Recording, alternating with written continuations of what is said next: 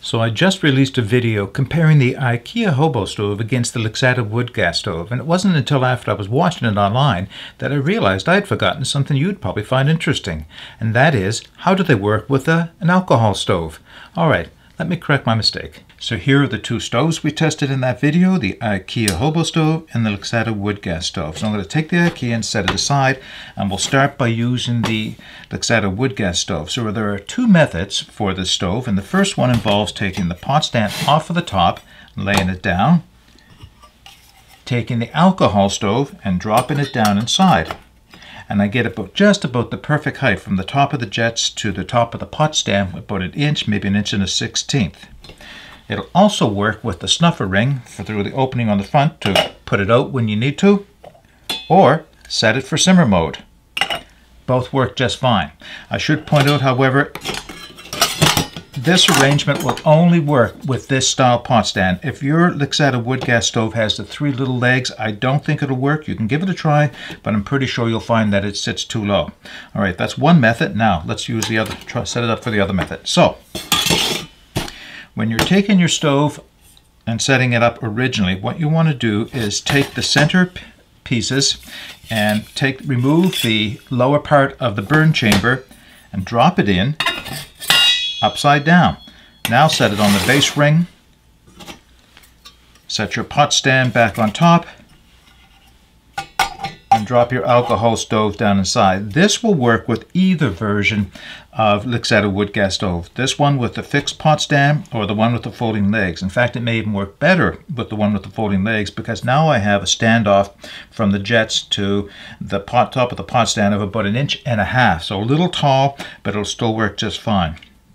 Okay, that's the Lixada wood gas stove. Let's put that aside. Now, the IKEA Hobo stove, it also has two ways it can be used with an alcohol stove. First one is to take your alcohol stove and drop it right down inside to the bottom of the stove. Now for this to work, you're going to need a couple of stakes, either 10 pegs like these aluminum ones, or you could use a uh, stainless steel skewers or even titanium tent pegs if you have them. Now what I'm going to do is I'm going to run the stakes through the holes in the side. First off you have to find what you consider just the right height for this to work.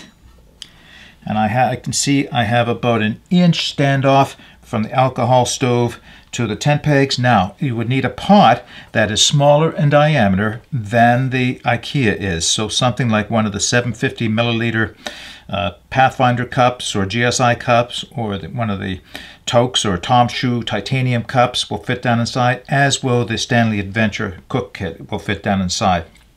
There may be others as well that'll fit, but it just has to be a little bit smaller. One of the benefits of using this style of setup is that you get a little bit of wind protection from the sides of the IKEA uh, utensil strainer as well.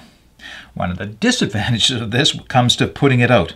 So when you're finished, you're going to have to pull the tent stakes out. Don't burn yourself. Take your snuffer, and because there's a fair amount of distance down the side, you have to drop it in and try not to burn yourself at the same time.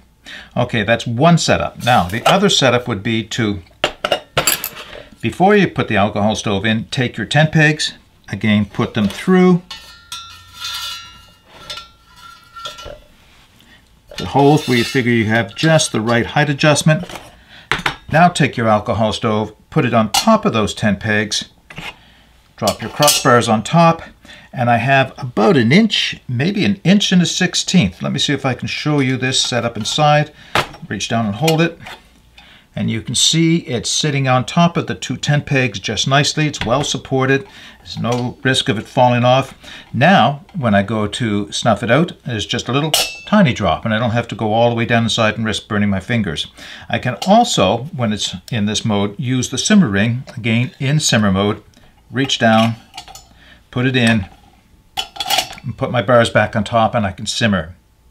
Okay, that's two methods for using the IKEA hobo stove and two methods for using the Lixada wood gas stove. Now we can wrap this video up.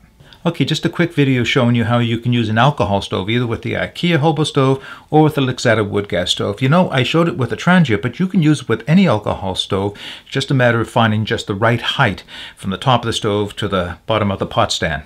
Okay, that's all I have for you in this video. Now, if I've forgotten anything else, please put it in the show notes below and I'll be sure to include it in a future video. But until then, get out and explore, take that path less traveled. It'll make all the difference. Bye for now.